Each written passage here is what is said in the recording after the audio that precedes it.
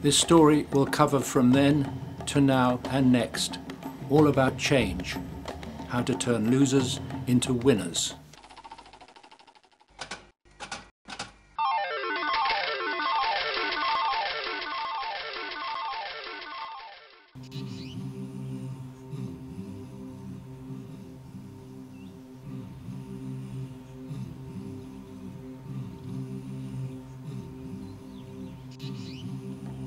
In part one, we saw the death of a baby giraffe. Very sad, especially so as the global giraffe populations are down by 38% in the last 30 years. We now continue our story at Lake Naivasha in Kenya, where the giraffes are being squeezed by the flower and vegetable farms around the lake.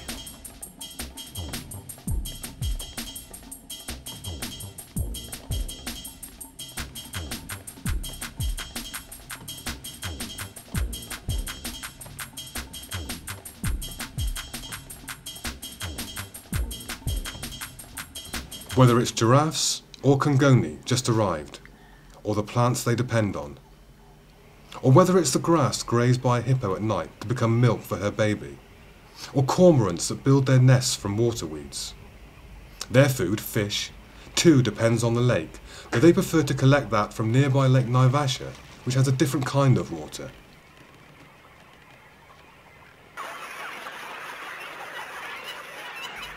Delivery looks painful. It's well worth the trip. The huge numbers of pelicans show that.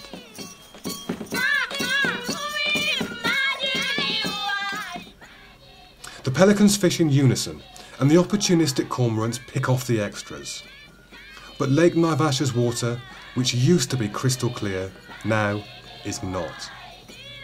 Filtering papyrus plants have been removed from the shore, and deforestation in the water catchment has caused silting from runoff.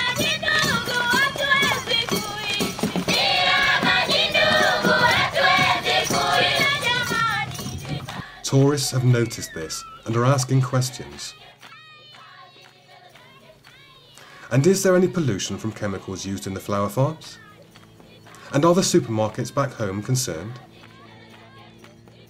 People certainly come to see giraffe and other game, but a water safari is quite popular too. With a little help from a friendly local guide, Isaac, whose job may depend on the health of the lake. He's concerned about the occupants the fish and the fishermen whose jobs are also on the line or in the net.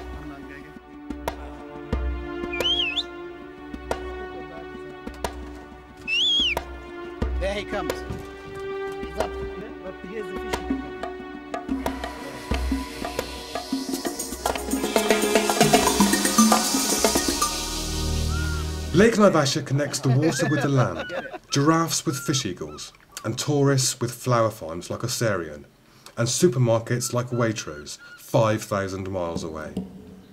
And that connection is 24 hours. A hippo is getting hungry. Soon he will pull his great weight ashore to feed.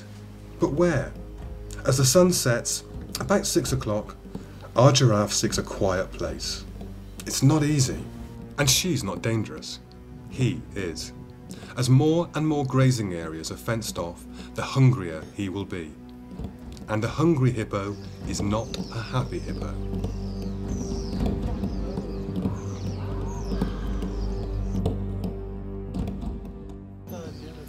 Elsamere's manager is very careful.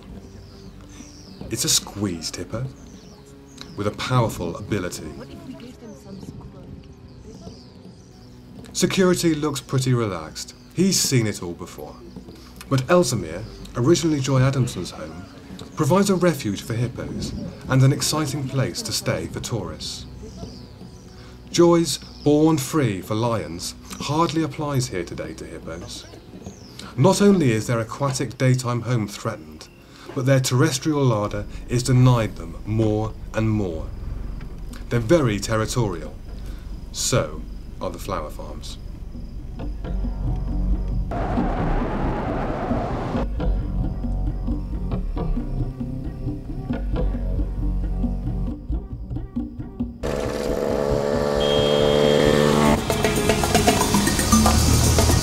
One zebra made it. No hippo this time. One zebra didn't. Oserian's game warden helps move the traffic victim, danger to both driver and certainly zebra. A degrading end for a fine animal, also a victim of the squeeze. Its final gift. Life after death as a swallowtail drinks from a zebra's droppings, recycled grass and water. What the grass is waiting for. In fact, the whole landscape is waiting for, and the people are waiting for, is this.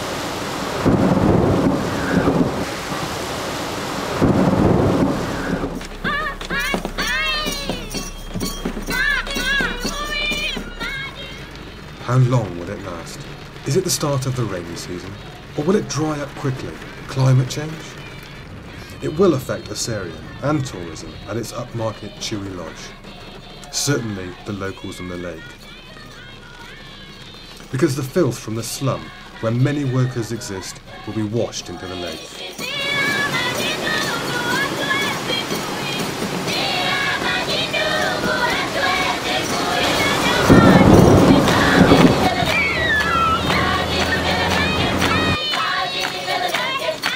Lovely weather for ducks, maybe.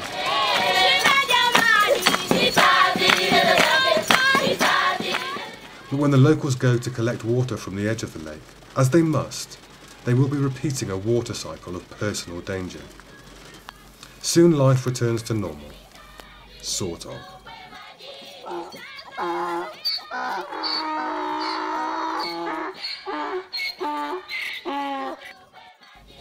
The old flower fields are flooded. This silt is heading for the lake. Almost overnight, the brown dry areas will turn green and a big, drying out eagle will come hunting. He's on the lookout for prey. A bit of pork might seem the target, but what he sees is invisible to people from the road. In fact, there are quite a few of them pecking about. And a marabou, that big vulture stork, with a big beak for big business. Millions of winged termites have emerged with the rain, shed their wings, and are now desperately burrowing to safety. Millions will die or get eaten. It takes a lot to satisfy the marabous and eagles. But millions too will disperse to start new colonies until the rains come again. But when might that be? Whole communities depend on the weather pattern, and that's been changing a lot lately. It will affect the lake nearby, and that will affect everything around it, especially the horticulture. Talk about changes. A few years ago, this giraffe was wading across what looked like an inland sea.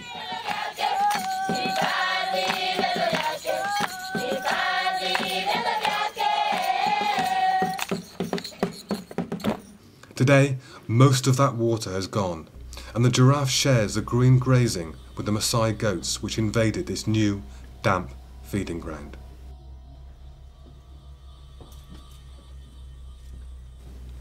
Welcome to a restaurant called Drifters. Hardly afloat, it got even more stranded later when the edge of Lake Naivasha disappeared over the horizon.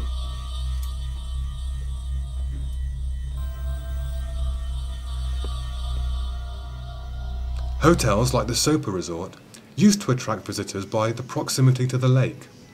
Not anymore. Water is brought from the lake to the lush gardens, which in turn tempts a rather special visitor to the top of the garden. Bit of a shock if you're on the balcony upstairs, but there's one tree on his mind. This is all a bit disheartening for the gardeners. And something for security to keep an eye on. Giraffe alert!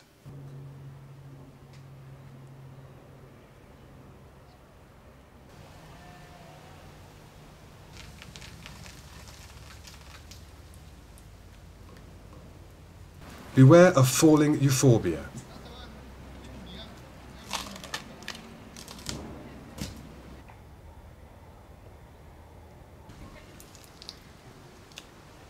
There's obviously a health and safety issue here when giraffes are as tame as the horses that the tourists ride. But tourists, like flowers, are a big money earner for Kenya. Giraffes are worth their weight in Kenyan shillings. Horticulture earned 32 billion shillings from export in 2009.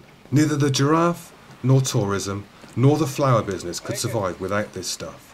For local people with no running water, and the Maasai with thirsty cattle through the dust, water is vital to their existence. So, how is it, in full view of that busy road, that the very people who claim to be careful with water are allowing this in the heat of the day?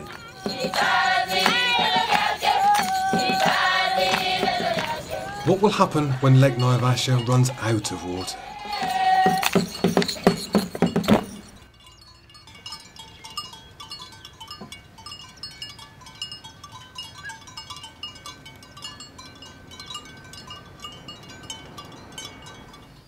Beyond the dried out pastures, the shoreline is shallow and sticky with silt. Sticky and tricky for a young waterbuck. Once fish swam here, and fishermen made a living catching them, legally or otherwise. Waterbuck may turn out to be a misnomer, as they share the now dry land with other wildlife, whose future may now be in trouble as the squeeze continues. The corridor may help some wild animals, but the pressure on the whole region is increasing. The sheer number of people is the problem. The big flower companies employ thousands of workers who need wood, charcoal, food, fish, sanitation, and especially water. This is the real cost of a rose. Deforested, now a desert. Desperate people, thirsty animals, and a dying lake. Someone who tried to help the situation was Joan Root. She cared enormously about the lake, the fishery, and especially the wildlife around it. Her crowned cranes were devoted to her.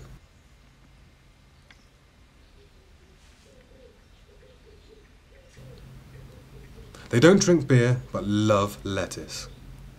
She was a vital half of Two in the Bush, with film cameraman Alan Root. After they divorced, she lived alone in this sanctuary by the lake, surrounded by flower farms and their increasing populations. Wildlife of all shapes and sizes were her friends, from the tiny dik-dik antelope to George, a frequent visitor, who pruned the acacias in one of the remaining patches in that part of the lake. But not only were the giraffes being squeezed, but so was Joan herself. At her house, her sanctuary, blood stained this rose. If it were not for the pressures from the flower farms, she would still be alive today. Not far from where we are gathered now, Joan Root was murdered in cold blood. This is the paradise that had attracted Joan and her husband Alan 50 years ago. Dark waters slowly engulfing this country. At Christmas in 2004, I reported it had been a bad year. Many of Joan's friends at the memorial service will remember how the wildlife used to be, a great biodiversity, as we say today.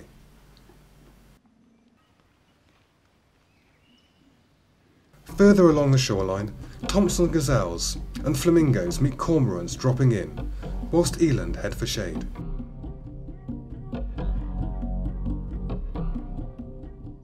A giraffe skips, for some reason, in this Oserian sanctuary by the lake at the end of the corridor.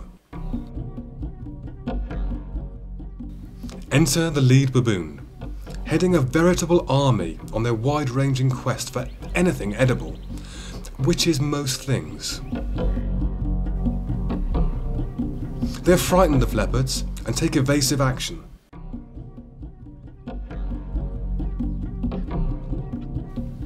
Don't they know leopards can climb? But they're soon back on the hunt. And now for a really nice surprise. The female giraffe, whose mate we say died in Hell's Gate and fed the vultures, has given birth here in the sanctuary at Oserian. But there seems to be a problem.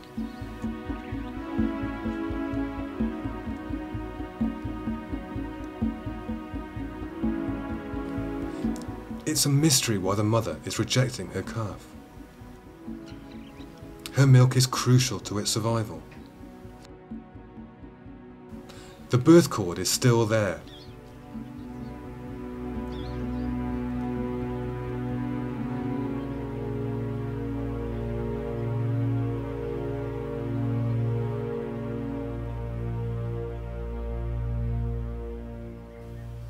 It doesn't look good.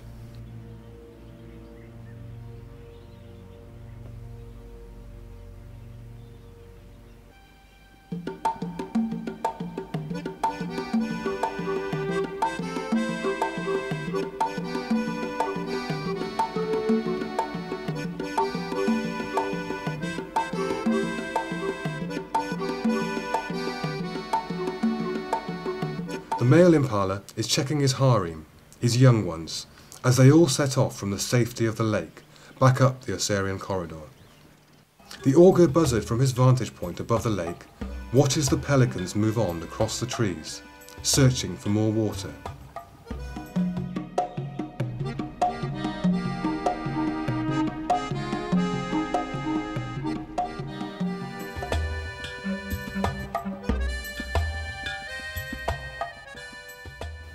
The recent rain has produced all sorts of new food in the very green grass. Flowers now decorate the hedges. A prickly pear, a reminder that the animals on the move are about to meet people again. But the people and being on a journey doesn't deter them.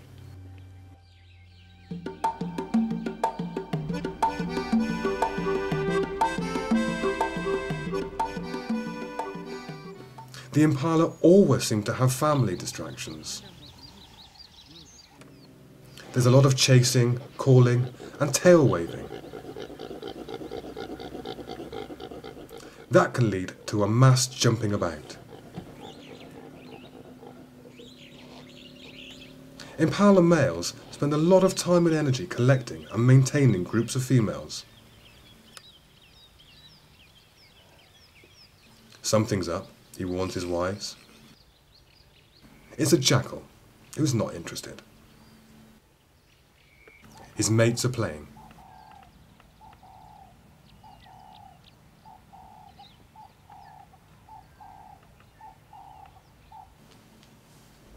The zebras are nuzzling.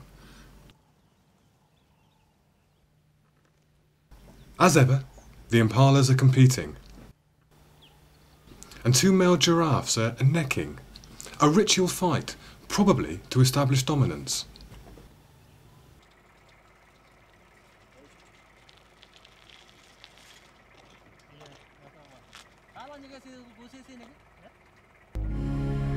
And then come the inevitable. The impala's efforts paid off. So did the zebras. Yes, they're back at the zebra crossing, quite relaxed alongside the traffic.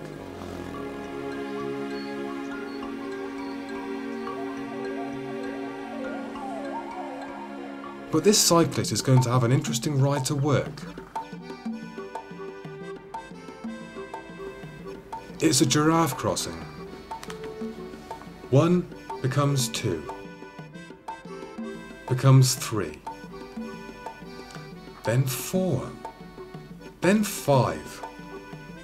How do you move five giraffes? He dropped something in the fray.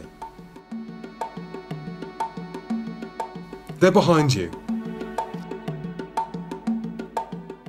They just keep on coming.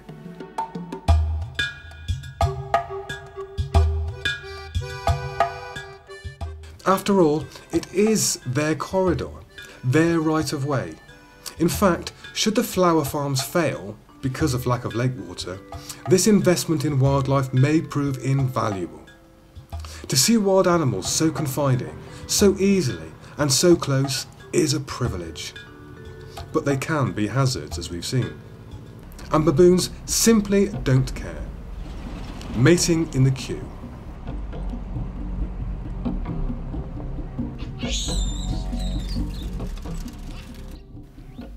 The corridor can be shared by people and wildlife.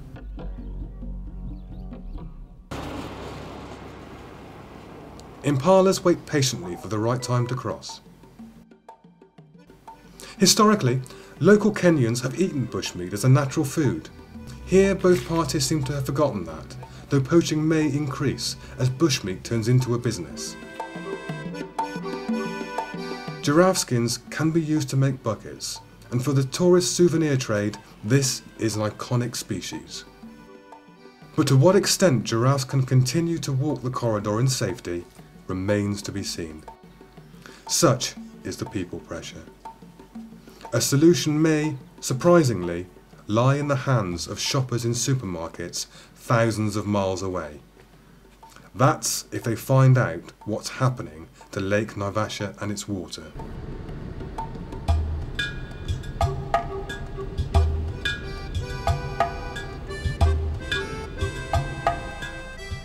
For this young giraffe, the prickly pear hedge is all too effective.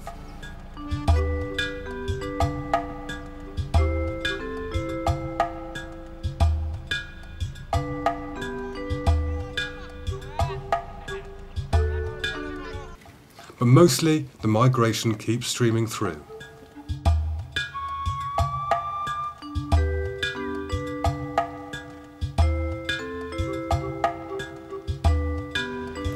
Speed bumps certainly help.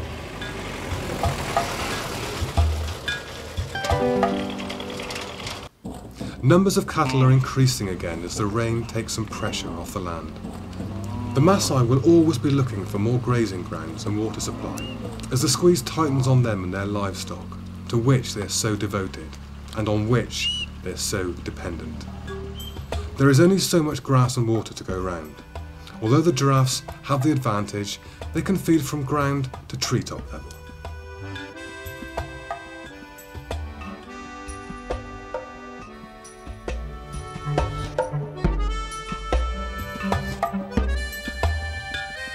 This may not look too lovely to us, but it's just what can turn a male giraffe on. An important signalling device with hints of things to come. Perhaps back in Hell's Gate National Park, where she lost her mate too. The only dangerous animals to her here is man, in a sequence of supply and demand, apparently innocent at this time. Behind the green grass, the green houses, squeezing impala and giraffe, home of the augur buzzard too amongst the acacias.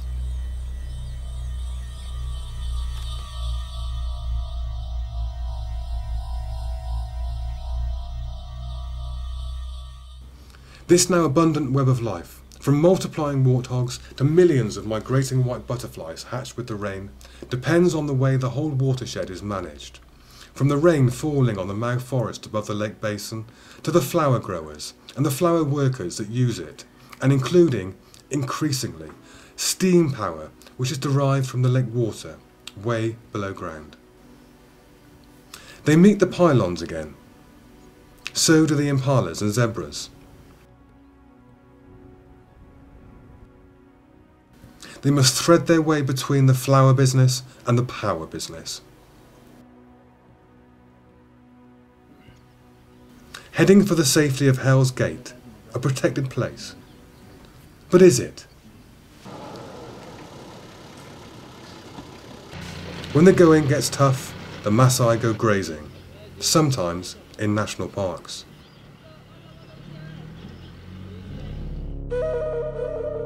And the water is a lifeline that stretches all the way from an endangered lake called Lake Naivasha to the supermarket shopping baskets of Britain and Europe.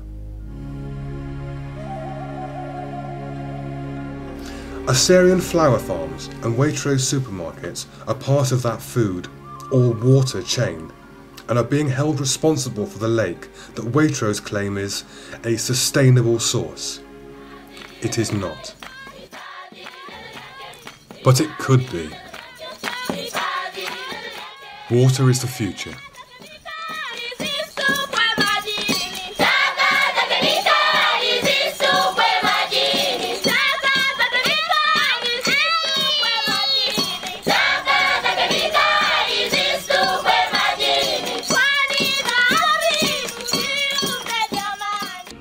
In no way can a dying lake be considered a sustainable source.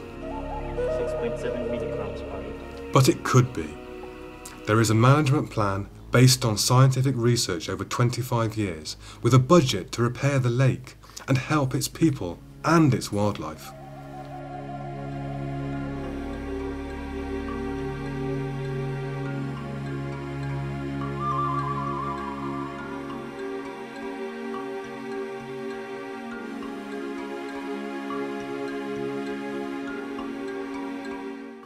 If the water goes, so does the flower business. The jobs, the tourism, and those giraffes, amongst much else.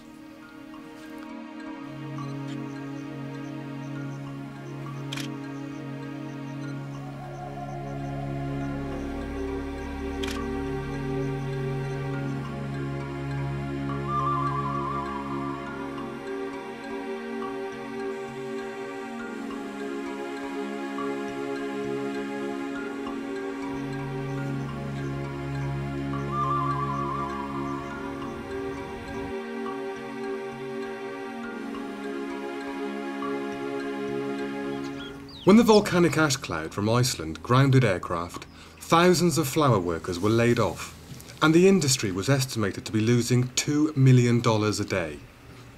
A rose only lives for a week, so 3 million blooms were dumped. That is, perhaps, just a warning blip compared with the effect of a dried out lake. In April 2010, it was reported that Waitrose supermarket sales rose 26.9% to £92.2 million. Tesco is thriving too. It would surely be good in the competition that's increasingly green in tooth and claw for a supermarket to be able to say it's saving a lake. After all, their name is on it.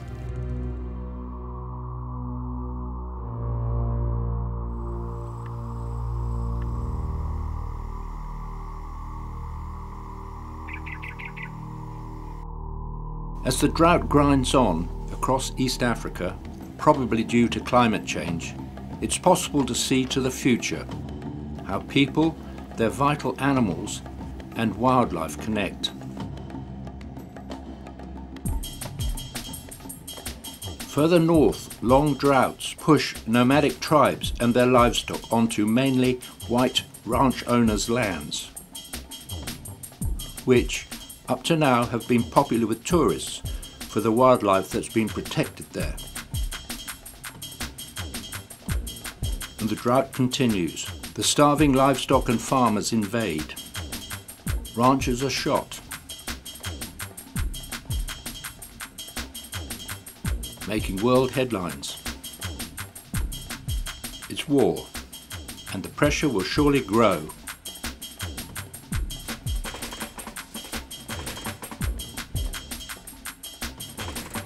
tourists won't come to enjoy giraffes, which are indiscriminately shot because they are the reason the ranches have been protected so well up to now for the tourists.